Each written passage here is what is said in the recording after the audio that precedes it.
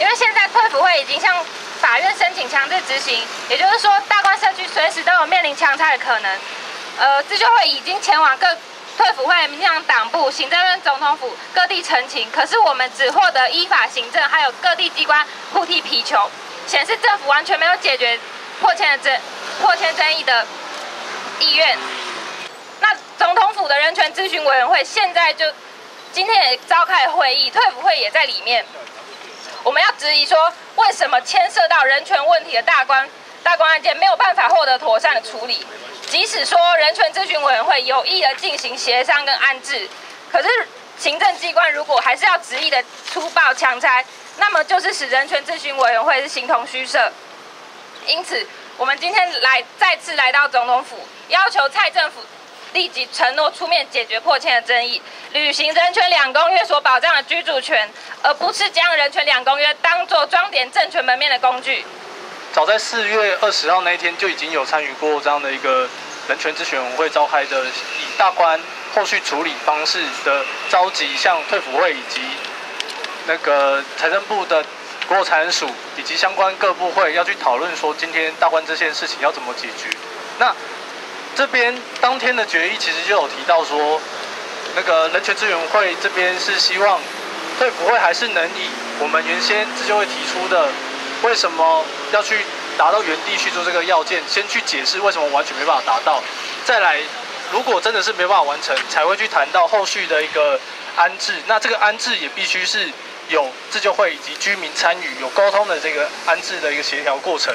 那在安置这部分也还是没有办法获得解决的话，才去谈到所谓的补偿赔偿的一个做法。但是我们看到两个月过去了，今天退辅会在处理大关这个案件的做法，我们先逐步来解释。就是像刚提到原地居住为什么不可行，当天的会议其实就有提到说，今天退辅会如果真的是不可行，也是要提出一个很就是正式的一个书面的报告去检视说，今天大关这这块土地必须。有有很强烈的理由，必须要收回去做公公共的一个用地的一个使用。但是两个月过去了，我们还是没有办法看到说今天退辅会可以拿出这样的一个正式一个文件来，来说服人权委员会说今天这条路是不可行的。再来就是安置，安置这块就是这块处理方式。后面我们也知道，在上个礼拜其实退辅会跟新北市也有去洽谈，洽谈说这边后续大关社区的居民后面如果。如果要招，真的要去遭受到破迁的一个处境的时候，后面新北市的住宅资源能不能去容纳大关这边的一个住户？但是他的这场会议也完全没有住户的参与，这叫有住户参与的一个协商的一个过程吗？根本我们也是感到非常的质疑。那再来就是安置，就是所谓的赔偿跟补偿这部分，他们也一直在提到说，这个就以现行的法规来讲是不可行的。所以其实。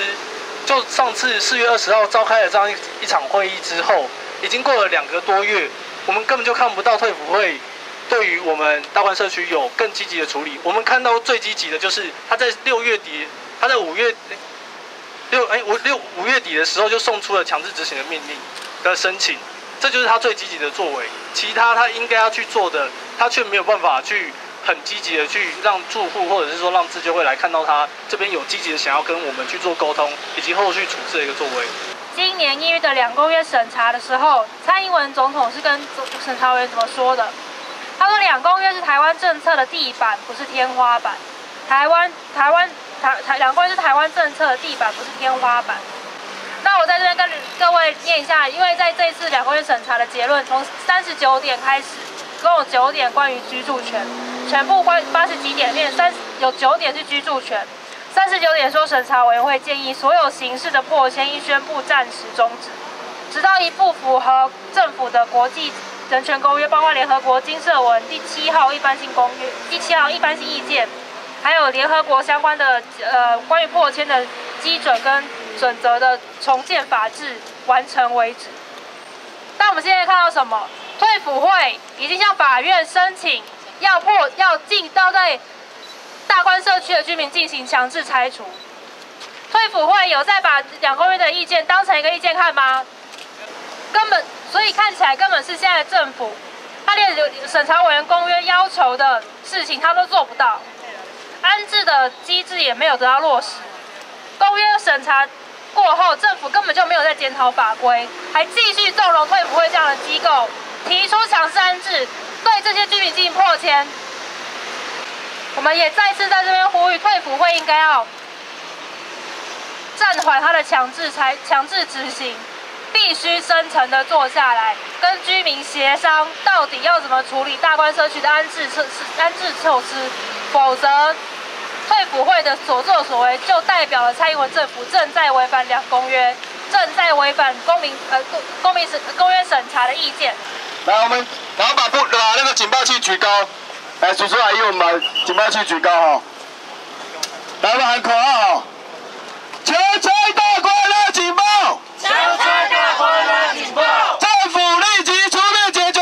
政府立即出面解决！强拆大关拉警报！强拆大关拉警报！政府立即出面解决！政府立即出面解决！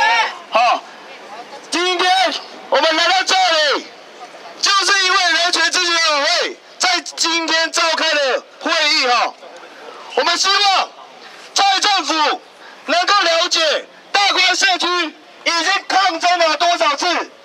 今天要告诉你，大关社区的居民即将面临到强拆大关的危机，所以大关现在社区就是在拉警报。我们希望在政府必须好好来面对问题，而不是以人权。当作口号，根本不解决个案的争议问题。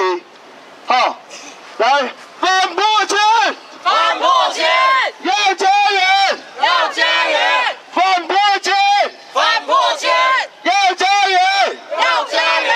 好，等一下哈，我喊一二三哈，丢的时候大家往哈往那个总统府那边方向丢哈。好，记住哈，不要砸到人哈。我们往总统府方向丢哈，抛物线丢远一点哈。好，好，我说一二三的时候再丢哈。好，来，我们军民再往前一点啊。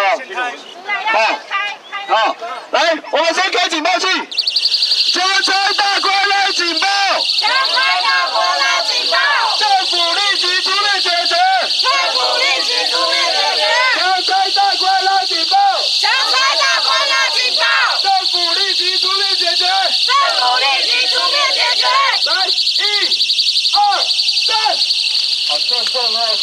郑正浩先生及在场的女士先生，啊，你们已经违反请问游行法。啊，我是东镇第一分局宗教西路派出所所长。交差大关拉警报！交差大关拉警报！政府立即出面解决！